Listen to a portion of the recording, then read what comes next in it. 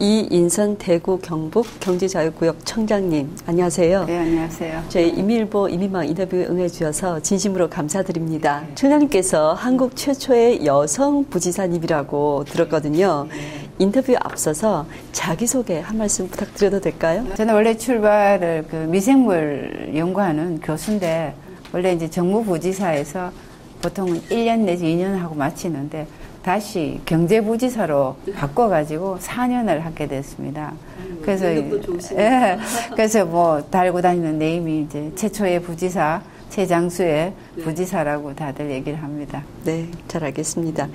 어, 대구 경북 경제자유구역청이 어떠한 업무를 하는 기관이고 그리고 주요 업무는 무엇인지 소개 한 말씀 부탁드리겠습니다. 여덟 개 지구가 만들어지면서 저희들은 이 여덟 개 지구를 테마별로 관리를 하면서 해외 기업이 왔을 때 여러 가지 인센티브를 주고 또 국내 좋은 기업을 데리고 하는 데리고 오는 그런 역할을 하고 있습니다. 대구 경북 경제자유구역청은 현재 중화권과 어떠한 교류와 협력을 하고 계시는지요? 그리고 구체적으로 소개 부탁드리겠습니다. 예.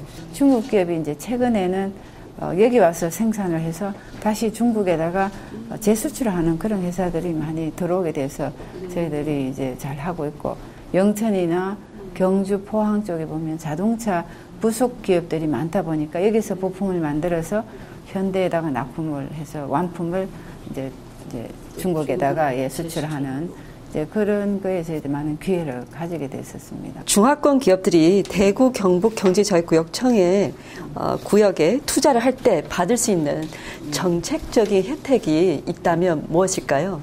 뭐 현금 지원이 제일 좋으니까 지방, 지방자치단체랑 나라에서 보고 현금 지원이 가능하면 현금 지원 쪽도 우리가 어, 제한을 하고 또 기본적으로 법인세라든지 취득세 이제 감면 제도가 있고요.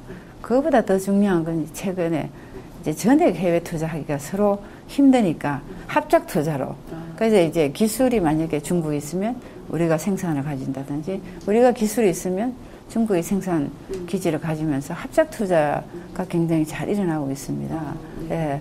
그래서 최근 효과를 본 거는 싱가포르에 네. 우리 지역의 IT 기업들을 12개 기업을 데리고 가서 싱가포르 기업과 같이 이제 어, 투자 유치 설명회를 했는데 그 중에서 세 개 기업이 투자 유치가 일어나고 있어요. 네. 중국도 우리가 이제 기업을 모집해서 이 기업들을 같이 가서 중국 기업하고 같이 이제 조인 미팅을 시켜서 조인 투자를 일어나게 하자. 네. 그러면 서로 이게 어느 정도 보장이 되잖아요. 자기 지역에 대해서. 그래서 아주 좋은 우리 합작 투자를 요즘은 네. 힘을 쏟고 있습니다.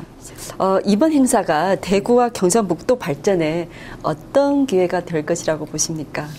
사실 우리 대한민국의 중화상은 조금 이제 아직까지 그렇게 발전을 못했지만 여기 와서 보니까 말레이시아라든지 중국이라든지 뭐 이런 인도네시아, 홍콩 이런 데 굉장히 이 많은 투자가 가능한 네. 그런 분들이 여기 한 자리에 모여서 맞습니다. 설명하는 자리가 돼서 저희들은 굉장히 어, 기대감을 갖고 네. 좋은 이제 기회라고 생각을 하고 있습니다. 네, 이렇게 네. 어, 유능하신 청장님이 계시니까 대구 경북 경제자구역청의 무궁한 발전을 기원을 하겠습니다. 감사합니다.